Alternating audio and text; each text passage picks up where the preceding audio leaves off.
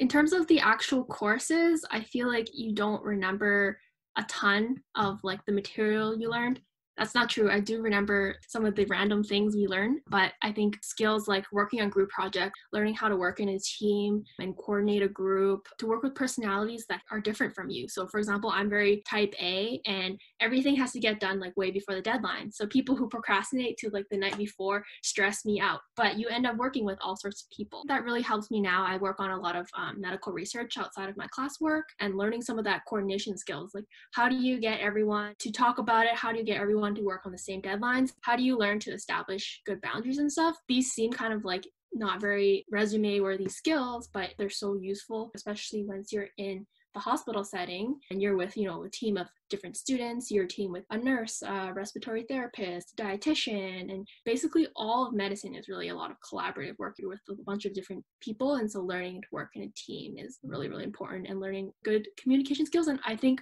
resolving conflict is one of the biggest things you can learn. Learning how you can do it in a respectful way and also learning from all the ways you do it wrong are probably the best way you can learn. I think learning to participate and putting yourself out of the comfort zone is actually one of the most important things you can do. I probably didn't speak most of high school until I started really getting into it by the end of high school. If you're like me and you're naturally shy and you just don't talk and you don't participate, but you like know all these things and you have a lot of thoughts, you learn that everyone's pretty nice and respectful. That if you participate and you throw out these like ideas and opinions that people are going to respect it. I think learning to state these kind of things and speak up and realizing that it's okay to, even if it disagree, you know, you disagree with everybody else, is a really helpful skill for university, whether or not you choose medicine or any other career. But I think in medicine, that's really important. Learning that skill of speaking up and also just like standing up for yourself in a way is really important in general, how did you get involved or continue your extracurriculars moving into university? I got involved in a lot of the work and volunteer and things that I found my passion in definitely when I was in high school. So I do think high school is a really instrumental time into developing yourself and actually finding these things. I don't think everyone does, but I think when you look back, you realize that all the dots connect. So, for example, I really got interested in a lot of um, the community service work at the very end of grade, uh, grade 12. I think I found um, the population that I really love working with. There's a lot of opportunities brewing, I think, from taking advantage of your high school years. Um, so for fun extracurriculars, I think finding like what the level of involvement you want to get into. So for me, I picked up in- intramurals on the side. I also found a way to combine what I wanted to do. So I think I, I volunteered with a group of hockey players that are blind and they play hockey, and so I volunteered with that a couple times. Um, so finding that way to combine, say, your interest in community service as well as your your for fun thing. But I think most of the time I played hockey was really just through the intramurals too, and that's really nice. It seems like you're taking time away from studying, but just just getting a couple hours out, meeting some new people, and getting some exercise. And um, remember to, I think having an identity outside of medicine is really helpful. I think that's something that I struggle with personally. It's really easy for medicine to creep in and take over your whole life. I feel like it can start, um, you can start feeling bitter about the fact that you're you're in this field that takes everything out of you. So I think taking that time to maintain something that's outside of you, maybe that's maybe that's hockey maybe that's music. I always made that deal to myself that school had to come first, though. So, for example, if I had a midterm on Monday and most of our hockey was a Sunday night or Monday night, then I wouldn't go. You have to know for yourself what the what the different pieces of the pyramid are. So, for example, that's school, that's you know health family and then where does hockey rank? I think it's important to realize that you can't do every single thing at once. That's actually a thing i think a lot of university students struggle with definitely in the first year. Extracurriculars actually overwhelm what their original purpose was. Trying not to actually get lost in some of that because it's really tempting. Just a bit of self-control is, is difficult to achieve but is definitely really important for your own sanity. How were you able to find the research opportunities? How did you find those opportunities in high school? I think it's really hard to cold email physicians as a high school student. I would say it's a lot easier to find research opportunities once you hit first year. I'm not exactly sure how to go about finding one in high school. I will speak to like how most people can do it in undergrad and maybe you can try translating it over. So definitely the professors that you really like interacting with, I would go up to them and that seems super intimidating. Be like, yeah, I really like that, you know, I really like that research you said. Um, is there any opportunity to get involved? And that's usually as simple as it is. I think commonly cold emailing is a big one. So like looking through the faculty of medicine website say you're interested in pediatrics, you're really interested in eating disorders and like finding this particular researcher who does that work and then writing them like a nice letter and make it really tailored, I think is the key. It's like writing a cover letter for your job. No one ever wants to get an email that's like, I just want to do research with you. And it's kind of very, looks like it was copy and pasted for everyone. But, you know, I'm really interested in eating disorders because of this. And um, and i think another key one is to know what you're offering. Are you offering to be a weekly volunteer? Are you offering to be a summer intern? How much time are you offering them? Be very concrete about that. Are you hoping to get paid? Are you hoping to volunteer? And so they kind of know what they're able to give you or if what you're offering matches what they need. And also in your letter tell them what kind of level you have. So if you know you did science fair and you you already learned how to pipette and all that stuff tell them that you did that. Or you can also just be honest with you like i have zero experience. And just having that expectation Um, they know what they can offer you and what they can't is really helpful. Uh, I think there's actually something I think is also helpful is just like asking around. Our brother also does research, but he's in the engineering field, and just talking to people you know and just being straightforward about the fact you're looking for research. Like, hey, um, I heard you're you're in this field. Um, do you know anyone who's like looking for a research student by chance? And usually the first person you talk to is always like a no, but somehow someone, he's like, hey, I know someone who also knows someone. And they kind of pass you around enough times until you hit someone who's just like, yeah, I actually am looking for labor.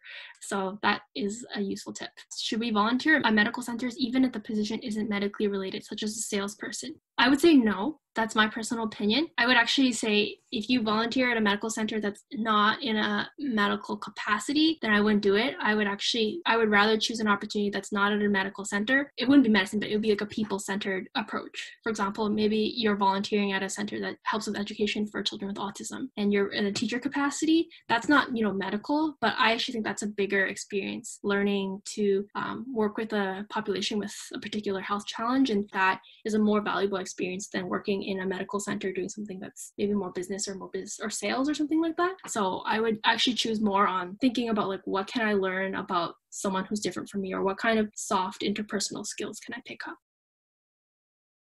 Where did you do your undergrad? Uh, did you enjoy it? Is there anything that you would change now?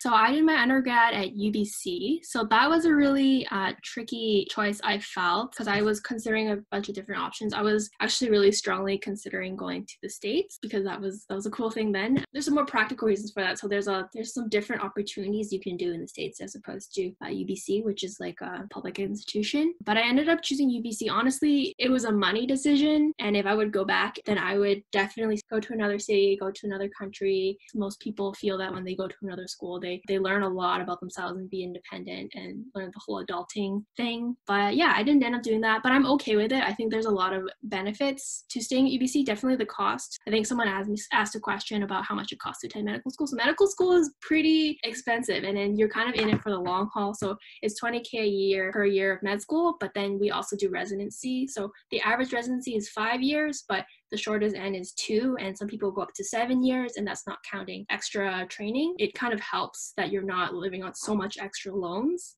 So that's kind of like a practical reason. I think in terms of opportunities, what did help end up leading me to stay at UBC was to carry on some of the volunteer opportunities and some of the research I was already doing when I was in high school. I think it's definitely easy to restart again when you go to new school, but I had already found a lab and a physician that I really like working with at VGH, and I kind of wanted to carry through with that, which I ended up working with him for the rest of my undergrad. But I think it would have been totally easy to just start anew when I was in first year. Did I enjoy it? I would say some of undergrad was terrible. I would have told myself to actually take it easy in undergrad, but I was so focused on getting into medical school. That was like a really like all in mindset, which I think was good, but a good mindset to have is a little bit more balanced. And I realized like this is a long haul. Every single day, every single year is going to be a grind like this. It's going to be just as busy and hard, if not just busier and busier at every stage. So realizing that I would have gone back and been okay. And I think I think striving for balance is also important in high school. Take it a little bit easier in high school. That said, like do work hard.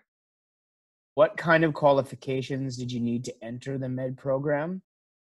So for UBC Med, you don't actually need any science prerequisites anymore, but you do typically need a four-year undergrad, um, or you can be like me, you do three. Um, so you do need at least 90 credits. And most people, I would say, get their undergrad degree, and some people, it seems very common nowadays, people actually also get a master's and stuff. And so you need to get that many credits. I think they still have an English credit requirement, so that doesn't apply though to other schools. So I think most schools other schools in Canada and definitely in the States, they have a lot of requirements. So most of that is a full year of Gen Chem, a full year of general physics, a year, I think a year or half a year of organic chemistry, half a year of biochemistry, at least a year of general biology, but generally people take more. And then some schools might say something like statistics. I think Ottawa wanted statistics. Some schools want microbiome, um, human physiology, or anatomy. Say like the most common path being you want to go for a science degree of any type. So the types usually biology, pharmacology, physiology, microbiology, or some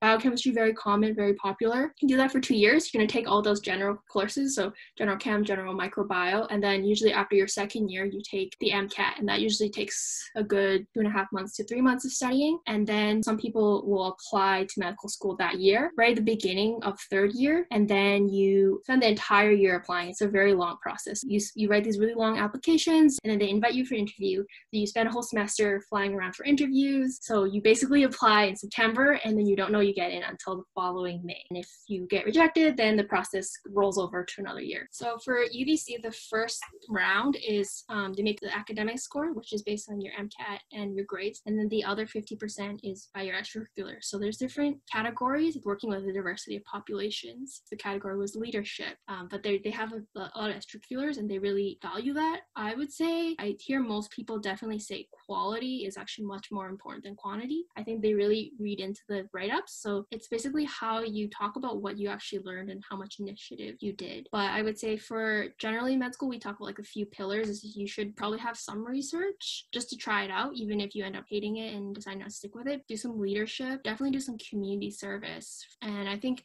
healthcare experience. Part of this is also knowing for yourself to know if you want to do it because like working with people in the healthcare context is quite different and it's it's very fulfilling to some people and some people really hate it. What are typically like plan b's for for students who uh, aren't successful getting into med school or so for me because i was planning my third year i would apply again. I think the average amount of times people apply is three times. It's definitely a lot of people who apply even more than that. It's also a numbers game sometimes. Like even the most qualified candidate, there's only 200 seats. And they say that like honestly, if they took the first top 500, they all would have been amazing medical students, amazing doctors. I thought about doing some similar careers. I think I'm quite committed to the idea that I quite liked medicine and helping people. So I think I would have been just happy as a pharmacist or a dentist. And so I was keeping in mind making sure that I having all those classes for those things at the same time. I also thought about applying to paramedic school. I did consider briefly because I, I do love research. And sometimes I wonder if I chose, should have chosen that instead. So I was thinking about like, should I apply to a master's and then eventually think about getting a PhD and going into like kind of medical research and stuff.